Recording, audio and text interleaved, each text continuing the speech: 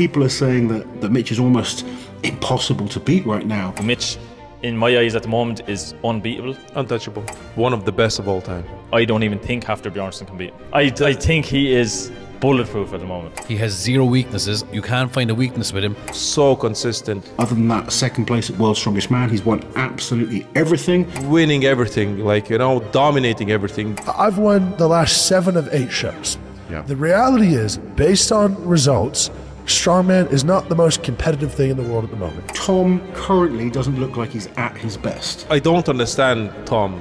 It doesn't look world's strongest man quality. He clearly wasn't himself in Vegas. It seems like uh, he's becoming one trick world's strongest man pony. It's just outside of World's Strongest Man, there seems to be some kind of disconnect. Stop competing in uh, all these other competitions. He needs a bit of time to focus on him. There's no point. Be the next Mr. Yeah, World's you, Man. you seemingly you, you you can peak only once a year. Rogue, we'll see what's going to happen in Rogue. We're going to have to see a version of Tom that we haven't seen before. At the moment, Mitch is just on his own level.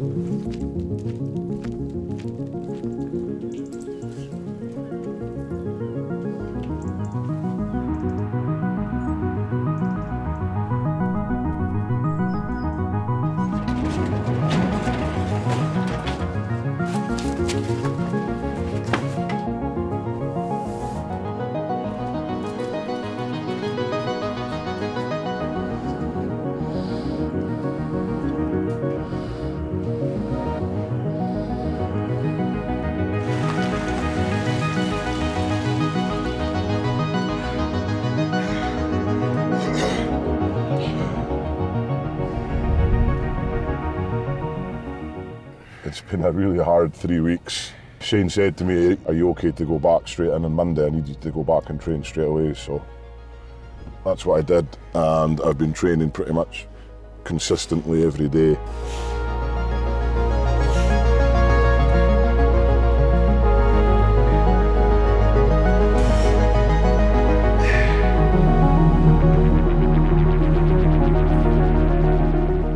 It feels good to be sore it feels good to feel that pain. You know, I'm focused on my own voice inside my head. It's saying, don't f up.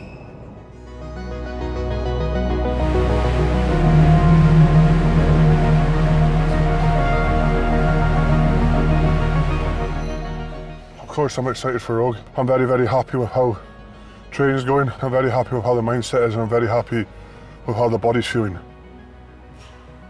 I feel that people forget about Tom. Tom has to live with the pressure of being world's strongest man. Tom is the strongest man in the world. Tom goes from being like a, a little ember at the end of the fire. It's just, there's just enough there. And I see all these people saying stuff about Tom. Is he a one trick pony? Can he beat the unbeatable? Mitch is unbeatable. Mitch is this, Mitch is that. And yeah, Mitch is fantastic. Of course he is. But when Tom has enough fuel, that ember will engulf everything. When you're a champion in a sport, that's when you get the most hate. People can talk, but I, I quite like it. Like, you know, the difference with Aaron as well is he likes to work in the shadows. A lot of coaches and stuff get stuck up in that, oh, look, my client did 450 kilogram deadlift in training, but training's training at the end of the day. Let's see what you can do in competitions, and then that's when you can start speaking up. But yeah, me and Aaron are nice off the radar right now. He's coming up to Rogue Invitational. We're going to put on a show, and uh, I think people are going to be shocked at what we've done in three weeks' time because three weeks ago, if Aaron said the numbers I've been hitting right now, I'd have been like, Bill.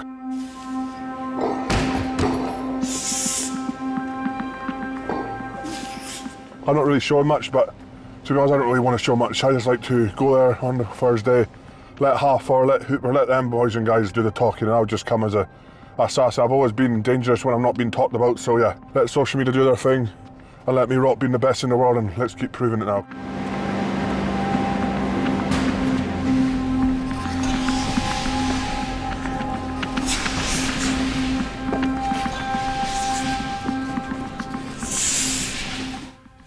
I feel ready. You know, I know my body's ready. I know it's able to take a lot of abuse.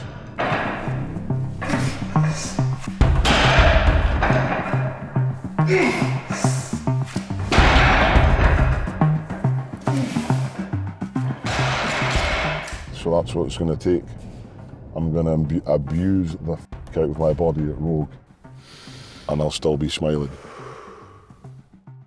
That, my friend, is the beauty of strongman.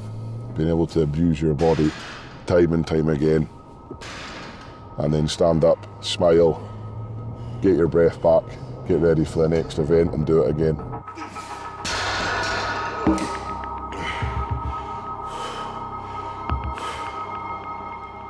It's pretty cool, but a little bit f***ed up at the same time.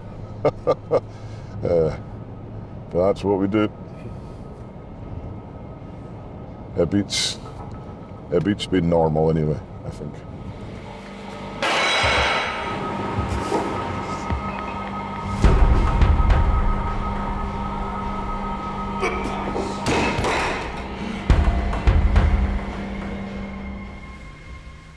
Main thing in training is you have to enjoy it and you have to be motivated. It doesn't matter who you're training with, it doesn't matter the surroundings. It's still very, very important that we're able to get up and be accountable for ourselves. Luke there now is like that extra, you know, when you take a pre workout, you feel buzzed.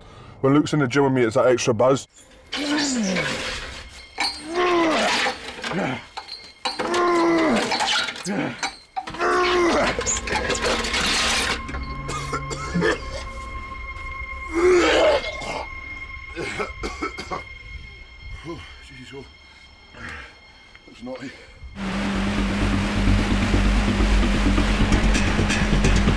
I just can love. I love competing with him. I love competing against him.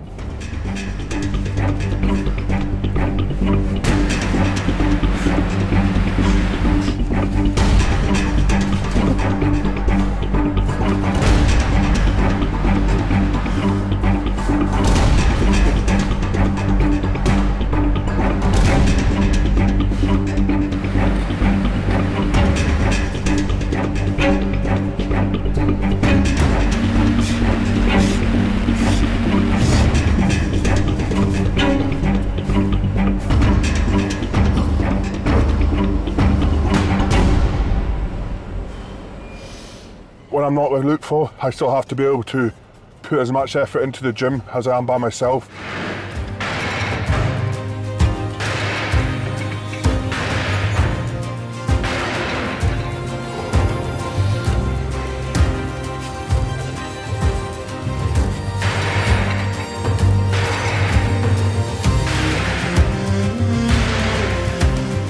Those are the sessions that when we're in together, we need to go balls to the wall. We need to go over 100%. The ones we can't get it together for, we still need to give 100% and we still need to go to the, the max we can. But yeah, I just feel unbelievable in the gym right now.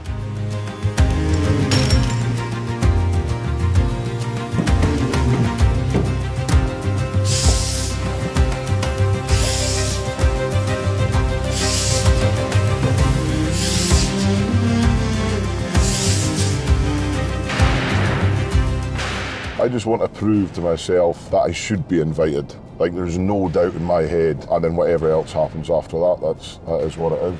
Yeah, I'm very excited. Me and Luke are excited. And uh, one more session for me to go, and then it's let's get the head down and get the job done.